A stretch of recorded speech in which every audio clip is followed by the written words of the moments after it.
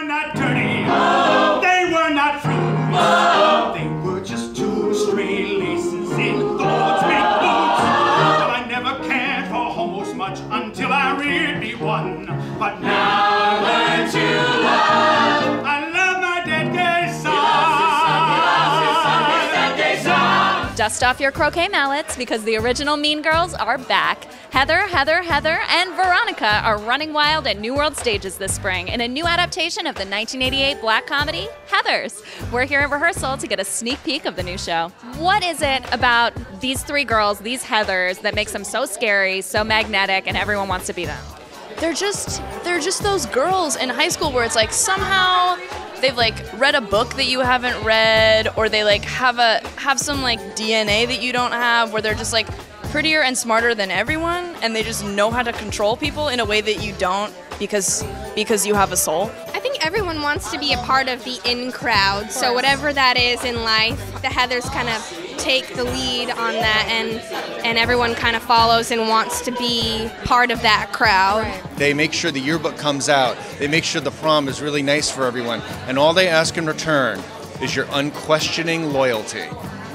Should you withhold that loyalty, they will cut you and they will cut you hard. in a weird way, they were in the 80s, they were very empowering to see a bunch of powerful girls. So to have a bunch of teenagers who scared the shit out of everybody was unique and awesome. Honey, what you waiting for?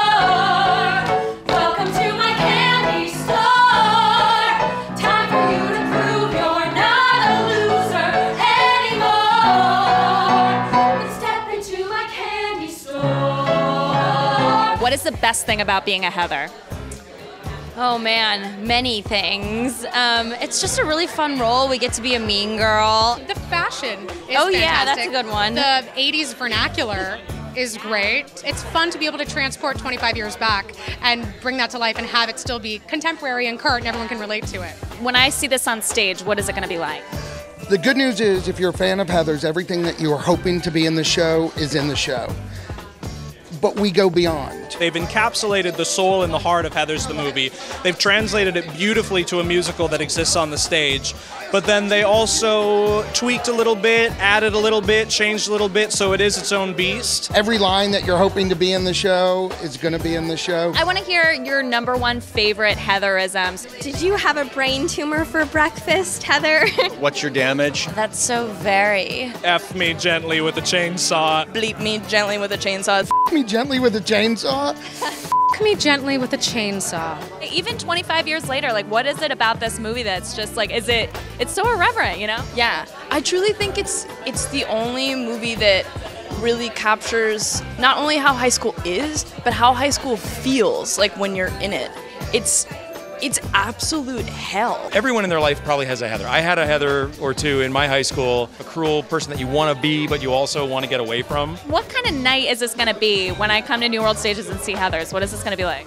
Well, it's Larry O'Keefe and, and Kevin Murphy, like I said, are so brilliant, um, and they've written some really amazing songs. There are songs and scenes that are going to have you rolling around in the aisles laughing. There are songs that are going to have you bawling your eyes out. There are songs that are going to empower you. There are songs that are going to scare you, and that's the cool thing about Heathers. It's the full package. And we've got, you know, the Heathers. You saw them. I mean, we've got three beautiful, sexy, wonderful, talented actresses playing those roles, and the, the whole cast is just a really magical assembly of, of talent.